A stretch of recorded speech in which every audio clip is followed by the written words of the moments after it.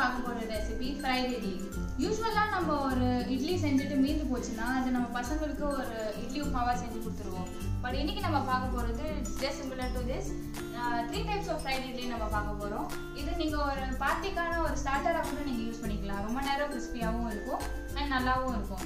வாங்க நம்ம எப்படி பண்ணுறதுன்னு பார்த்துக்கலாம். நம்ம வந்து இட்லியில் வந்து மூணு மூணு விதமான ஃப்ரை பண்ண போகிறோம் இது வந்து இந்த இட்லி வந்து காலையில் செஞ்சுட்டு ஃப்ரிட்ஜில் வச்சுடுங்க. ஃப்ரிட்ஜில் வச்சுட்டு பண்ணால் தான் நல்லாயிருக்கும். எண்ணெய் இழுக்காது. இப்போ இதை எப்படி செய்யலான்னு பார்க்கலாம். இதை வந்து கட் பண்ணிக்கணும். இப்படி மெலிசாக கட் பண்ணிவிடுங்க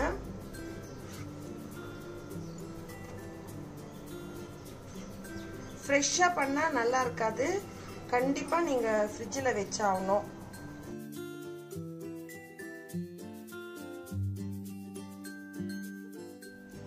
கட் பண்ணி முடிச்சிட்டேங்க. இப்போ வந்து நம்ம எண்ணெய் ஏற்கனவே நான் சூடு பண்ண வச்சுட்டேன் சூடாயிடுச்சு எண்ணெய். இப்போ ஃப்ரை பண்ணலாம்.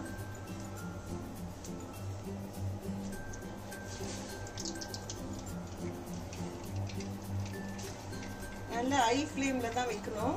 இன்னும் கூட எண்ணெய் கொஞ்சம் சூடாகணுங்க.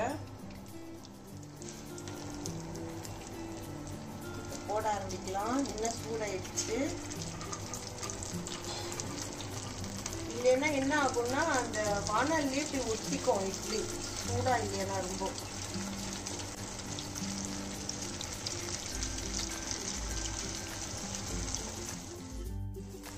உடனே கரண்டி போடாதீங்க. கொஞ்ச நேரம் வெயிட் பண்ணுங்க.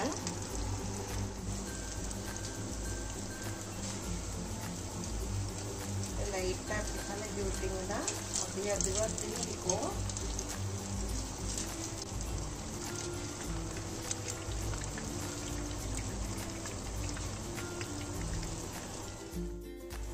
லைட்டாக ப்ரௌன் ஆகிட்டு வருது. இன்னும் கொஞ்சம் கலர் மாறணும்.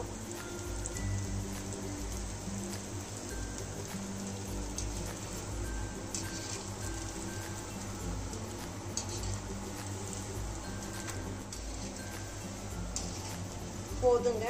இந்த கலர் வந்தால் போதும். பாருங்க. நல்ல ஒரு கோல்டன் ப்ரௌன் இந்த கலர் வரும்போது எடுத்துடலாம். நான் ஒரு பேப்பர் டிஷ்யூ பேப்பர் போட்டு வச்சுருக்கேன் பிளேட்டில் இது வந்து எக்ஸ்ட்ரா ஆயில் இருந்தால் அதை இழுத்துரும்.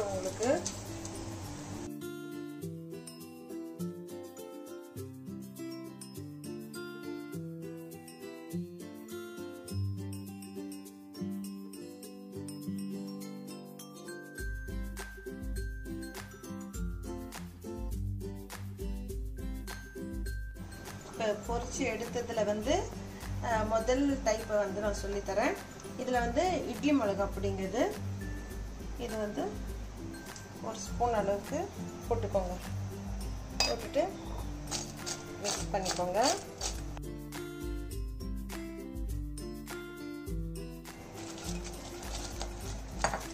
அவ்வளோதான் ரொம்ப ஈஸி பாருங்கள் இது டைப் ஒன்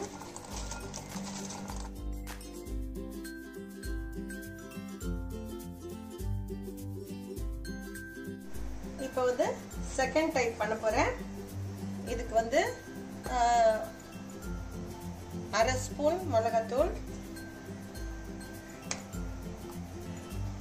சாட் மசாலா இது ஒரு கால் ஸ்பூன். இது வந்து பெப்பர் பொடி இது ஒரு கால் ஸ்பூன். உப்பு வந்து கொஞ்சமாக போட்டுக்கோங்க ஏன்னா இட்லியில் உப்பு இருக்கும். அதனால் கொஞ்சமாக போட்டுக்கோங்க. அதே மாதிரி மிக்ஸ் பண்ணிடுங்க.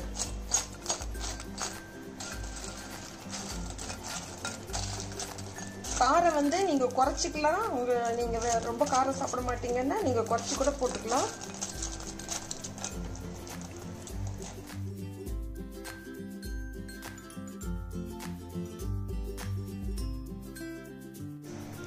இப்போ வந்து டைப் த்ரீ செய்ய போகிறோம்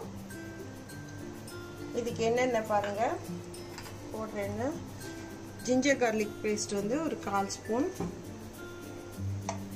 அதுக்கப்புறம் இது வந்து ஜீரகத்தூள். இது ஒரு அரை ஸ்பூன். இது வந்து பெப்பர் பொடி. இது ஒரு கால் ஸ்பூன். இது வந்து கரம் மசாலா. இது ஒரு கால் ஸ்பூன். ஒரு கால் ஸ்பூனில் கூட கொஞ்சம் கொஞ்சமாக அப்புறம் மிளகா பொடி. இது ஒரு அரை ஸ்பூன். உப்பு வந்து கொஞ்சோண்டு. இதை நம்ம மிக்ஸ் பண்ணிக்கலாம். தண்ணி போட்டக்கூடாது தண்ணி போடக்கூடாது. தண்ணி போட்டால் எண்ணெய் இழுத்துரும். மிக்ஸ் ஆயிடுச்சு.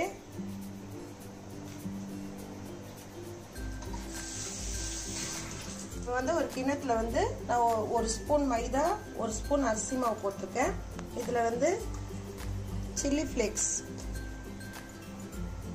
இது ஒரு ஸ்பூன் போட்டுக்கோங்க. கொஞ்சமாக ஒரு கொஞ்சமாக ஒரு பிஞ்ச் உப்பு.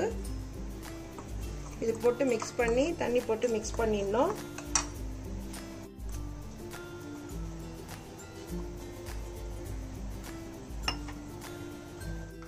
இந்த அளவு தண்ணியாக கரைச்சிக்கோங்க. இப்போ வந்து என்ன பண்ண இதில் இப்படி முக்கி எடுத்துட்டு இது பிரெட் க்ரம்ஸுங்க இதில் இப்படி துவச்சிட்டு எல்லாம் எடுத்து வச்சுக்கலாம்.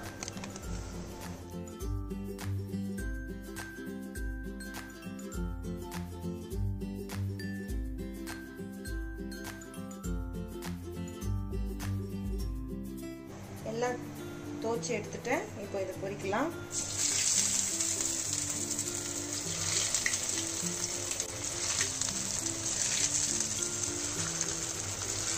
இது மீடியம் ஃப்ளேமில் தான் பொறிக்கணும் இதை. இல்லைன்னா மேலே இருக்கிற இதெல்லாம் கரிஞ்சு போயிடும்.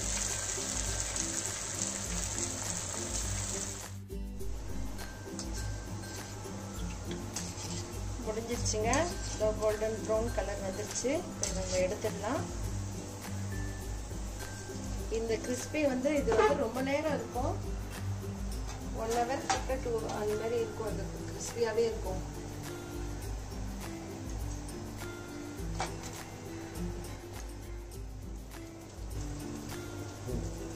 பாருங்க எவ்வளோ கிறிஸ்பியாக இருக்குன்னு.